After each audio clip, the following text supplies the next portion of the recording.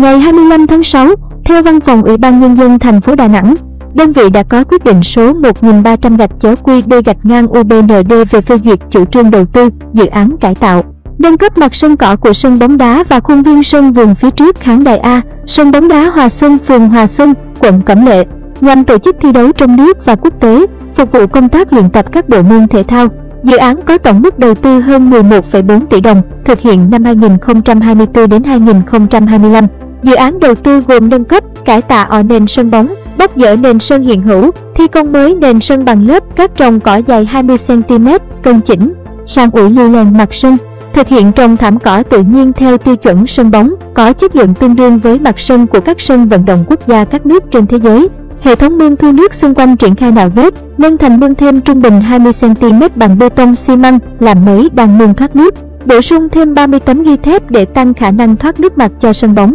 Đối với hệ thống tưới, thực hiện bóc dỡ hệ thống ống và thiết bị tưới hiện hữu đã hư hỏng, lắp đặt mới đường ống cấp nước cho hệ thống tưới, lắp đặt thiết bị tưới chuyên dụng cho mặt sân cỏ, lắp đặt thêm máy bơm cấp nước cho hệ thống tưới. Thảm cỏ bao quanh sân triển khai nâng nền xung quanh sân bóng bằng cấp phối đá dăm, trải mặt nền bằng thảm cỏ nhân tạo chiều cao cỏ 25 mm.